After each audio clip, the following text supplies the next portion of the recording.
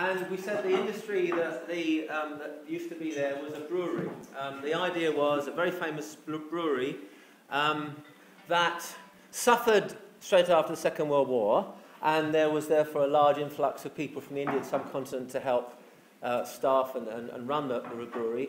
But then it was taken over um, uh, uh, in the 80s by a much bigger brewery that closed it down. Um, so that's, that, that's the history. Um, one of the very important byproducts uh, that the, the area is very famous for is a byproduct of brewery, which is um, slagmite. You've heard of Marmite, this was the original, slagmite. So, so that's the background, and I guess the key issue was how to bring pride back into that area.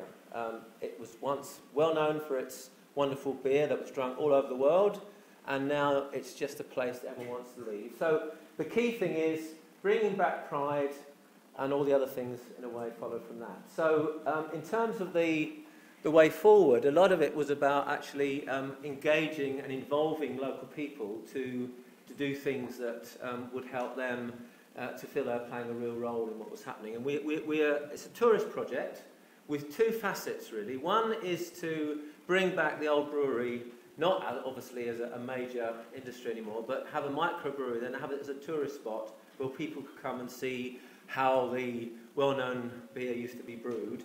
Um, but also to create um, a beautiful environment around with cycle paths. There's the wetlands, um, the river, boats, barges that used to take um, the things to and from the brewery. So we want to exploit that and, and, and make it a lovely place to be, as well as a place where people who used to work there can remember the good old days and feel how wonderful it was and, and, and be proud of, of their town.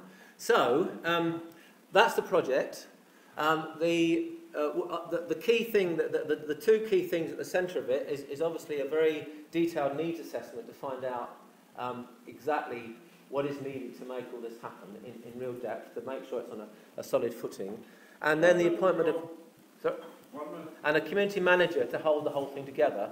Um, we'd be having um, all sorts of events, food festivals, drink festivals and things like that. Yeast extract. Uh, yeast extract fe- festivals, yes. Um, but we want to make sure they were interactive so that it wasn't just local people posted to Flickr, all the rest of it. Would We'd get people there, um, interviews, their memories, how, how they used to remember good old beer when they used to drink it, and so on. And, um, and, and I'm, I'm going to stop there because that's the time. Um, we had a great project.